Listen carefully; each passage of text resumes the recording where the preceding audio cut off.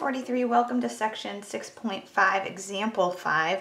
We're going to take a look at writing each of these logarithmic, or excuse me, each of these expressions as a single logarithm with a coefficient of 1.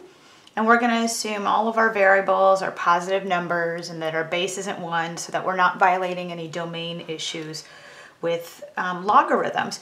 So when I say I want a single logarithm, you can see right here I have three separate logarithms and I want to combine them. So the first thing to take note is that the bases are the same. So if I want to use any of the properties of logarithms in this section, the bases have to be the same. If they weren't the same, then I couldn't simplify them into a single expression or into a single logarithm. And that would have been fine, I just, you need to recognize that.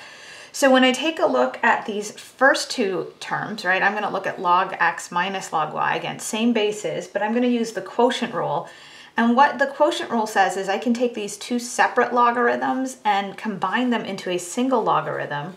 But now the argument is going to be a quotient. It's x over y. That's why it was called the quotient rule. But you can see I've gone from two logarithms, excuse me, I've gone from three logarithms. I started with three, one, two, three, and now I'm down to two.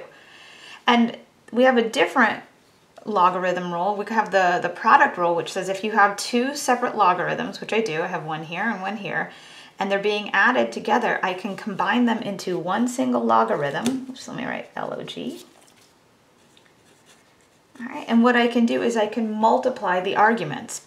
So I would have x over y times z, and when we go to multiply that z into that fraction, keep in mind you can think of this as having its own parentheses if you want, that's z over 1. I'm going to multiply numerators, multiply denominators, and I'm looking at log base 4 of xz over y. And again, it's up to you. If you prefer to have the parentheses around your argument, you're more than welcome to. Now, I do have one single logarithm and the coefficient is 1. There's a secret 1 outside of here. So I'm good to go on that one. Now, over on part B, you can see that I have some coefficients right out the gate. I have a 4 in front of that first logarithmic term and a 5 in front of that second logarithmic term. So I'm going to use the power rule for logarithms and move both of these coefficients out in front up as a power on our argument. So this is going to simplify to log base b of r to the fourth minus log base b of s to the fifth.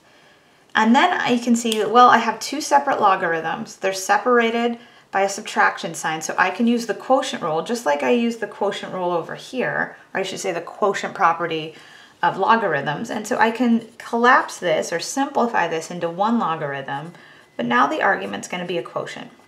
And again, if you want to, you can put parentheses around those those log or excuse me around that argument if you want.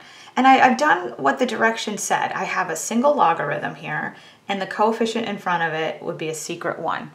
So I've, I've solved that problem. All right, thanks so much, everyone. Bye.